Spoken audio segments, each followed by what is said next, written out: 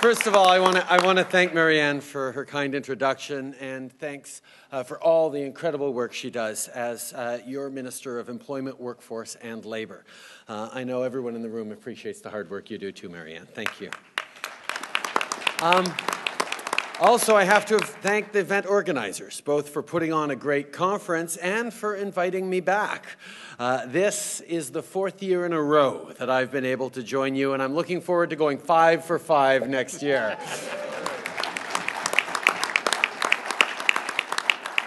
Uh, but today, uh, obviously, we have to start on a serious note uh, with a few words about Fort McMurray. I know that the ongoing devastation taking place there is on the minds of many Canadians right now. That's true for my family, and I know it's true for yours too, especially for all your members who work in, live in, and love Fort McMurray. Uh, thinking of Kevin Thomas. Uh, are you here, Kevin? Yeah. Of the uh, operating engineers, who uh, uh, is uh, is you know worried about his home and his future. But we're all here for you, Kevin, and for everyone everyone from your community.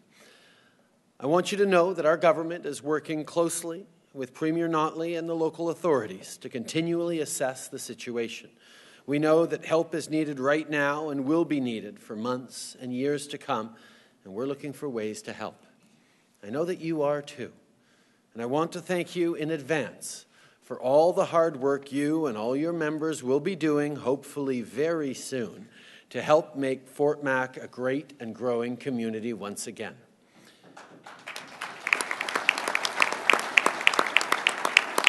We need you there. Kevin needs you there. Fort McMurray needs you there. We need you to rebuild the roads and the houses, from carpentry to concrete, from plumbing to power lines. We need your help. And I'm tremendously reassured to know that when it comes time to rebuild Fort McMurray, we will have you on our side. In the meantime, your hard work and ours goes on. Notre gouvernement est maintenant au pouvoir depuis un peu plus de six mois. Un six mois très occupé. Je veux vous parler de ce qu'on a réussi à accomplir en peu de temps, de ce que ces réalisations représentent pour vos membres et pour le cœur de l'économie canadienne, la classe moyenne. L'investissement historique que nous faisons dans l'infrastructure est l'une de nos grandes réussites. Au cours des dix prochaines années, notre gouvernement investira plus de 120 milliards de dollars dans le transport en commun, l'infrastructure verte et l'infrastructure sociale. There are many reasons why investing $120 billion in public transit, green infrastructure, and social infrastructure makes sense for Canada and for Canadians. Investing in infrastructure creates good, well paying jobs that help the middle class grow and prosper today. Investing in infrastructure also makes it easier to move people and products, something we need for sustained economic growth. And investing in infrastructure, in things like affordable housing and community centers, also builds strong communities, the kind of places we're all proud to call home. And of course, you and your members have a critical role to play in all of this. We need your skills, your expertise, your work ethic, and your help to get the job done. One thing that we know doesn't help is legislation that makes it more difficult for unions to organize and support their members. That's why some of the very first meetings I had as a Prime Minister were with groups who represent Canadian workers.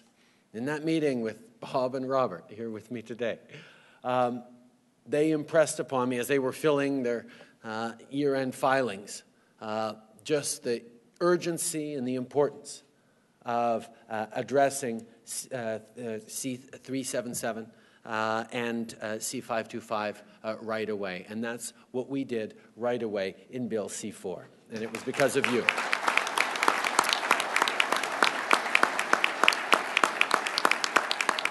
Seulement quelques semaines après notre entrée en fonction, j'ai en effet rencontré vos dirigeants, dont Robert Kucheran et Robert Blakely, pour entendre vos préoccupations. Et vous nous avons bel et bien entendus. Après avoir baissé les impôts des familles comme nous l'avons promis, nous nous sommes débarrassés des lois antisyndicales du gouvernement précédent. C'est l'une des premières mesures que nous avons prises. Notre projet de loi C4 permettra d'abroger deux projets de loi précédents, soit C377 et 525, qui ciblaient les syndicats de façon injuste. Mes amis, le gouvernement que je dirige respecte les syndicats, il ne les attaque pas.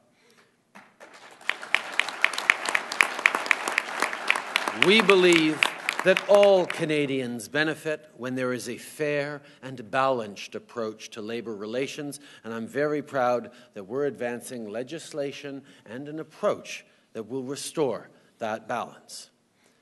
In our recent budget, we also increased federal investments in training and employment programs to help Canadians get the skills they need to build a better future for themselves and for their families.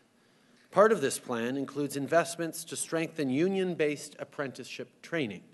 We know that apprentices work and learn in a variety of settings, including through union based training centers. That's why we're investing more than $85 million over five years to better support union based apprenticeship training. Among other things, these investments are intended to help purchase or upgrade equipment and better leverage innovative training approaches so that apprentices will have greater access to modern training and hands on learning opportunities. This is good news for apprentices, for their prospective employers, and for every Canadian who will benefit from the good work that a better trained, better skilled workforce can provide.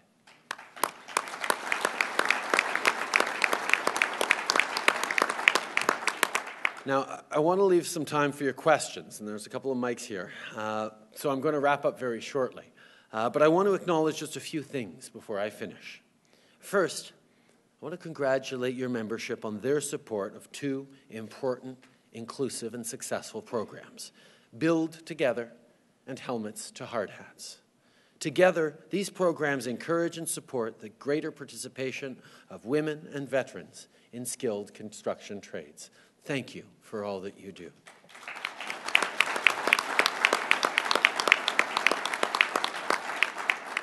As you know, I believe that we're a country strong not in spite of our differences, but because of them.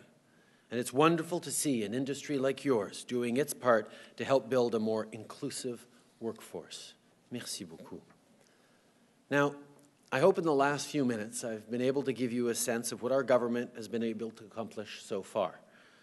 But as I said, it's only been six months. There's a lot more hard work ahead of us than there is behind us but I'm still proud of what we've been able to do. We're making historic investments in infrastructure. We're putting an end to legislation that unfairly targets unions. We're supporting greater training in the skilled trades, including union based apprenticeship training. And next week, here's a little sneak preview, we'll be announcing how we intend to implement more of our budget commitments. This time, around better supporting electric and alternative fuel vehicles, infrastructure projects that your membership will help build.